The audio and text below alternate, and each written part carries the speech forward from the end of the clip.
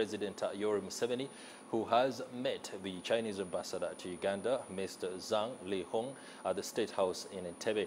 The Chinese government, during the meeting, promised to offer Uganda up to 300,000 uh, COVID uh, vaccines to be able to help in efforts to combat the disease that is currently uh, raveling across the country. Our reporter was there and filed this report. The 300,000 COVID 19 vaccines promised by the Chinese government are expected to boost the country's vaccination exercise, a great stride in the fight against COVID 19. three and uh, six months. Uh, thank you, Uh, we are just uh, celebrating. New Chinese ambassador to Uganda, Zhang Lizhong, today met with President Yoweri Museveni at State House in Entebbe. He said the vaccines will arrive in the country this Saturday, July 31st. And I want to uh, particularly take this opportunity to express our appreciations for the strong support, valuable support from the Uganda side. During this meeting, the president received letters of credence from Ambassador Zhang Lizhong.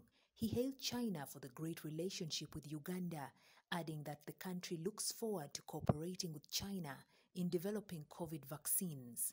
President Yoweri Museveni also noted that the economic rise of China should be an opportunity for more cooperation, including business. very good relation with China for a long time. And we are grateful for the support.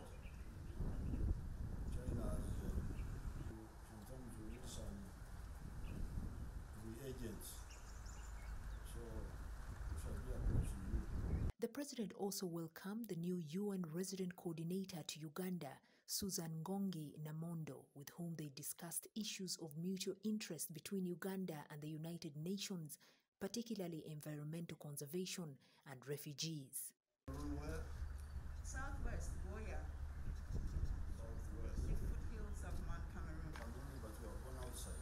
I was born inside Cameroon, but then I left when I was very young. Ngongi, Susan Namondo Ngongi. You also Ngongi? I'm also Ngongi. Really? Who- how- mm. What is the name meant? Ngongi.